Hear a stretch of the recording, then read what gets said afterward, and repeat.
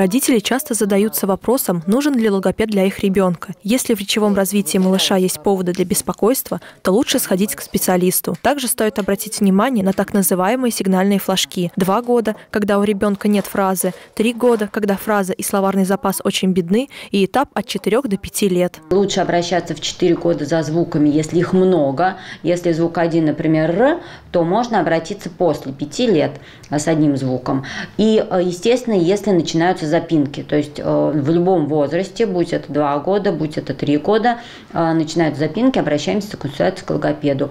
Также сложности, если ребенок плохо пересказывает, если у ребенка есть проблемы с построением связанной правильной речи, то его нужно показать логопеду в возрасте от 3,5 до 4 лет. И в этом случае не стоит тянуть. Чем раньше ребенок начнет заниматься со специалистом, тем лучше будет результат. Екатерина Николаевна советует родителям больше внимания уделять и физическому развитию детей. Оно тесно связано с речевым развитием. Сейчас все нейропсихологи об этом говорят, и я воспользуюсь случаем прям а, обращаю внимание родителей на физическое развитие детей. Потому что у нас сейчас дети вроде бы как читать умеют, а ловить мяч не умеют, на двух ногах прыгать не умеют, бегать хорошо не умеют, а, а, себя контролировать во время бега не умеют. Можно ли исправить дефекты речи самостоятельно? На этот вопрос Екатерина Николаевна отвечает положительно. Можно, но необходимо понимать причины явлений. Если дело, например, в отсутствии тренировок, то человек сам может повлиять повлиять на ситуацию. Но чаще всего для исправления дефектов нужен специалист. Я знаю родителей, которые поставили звук ребенку,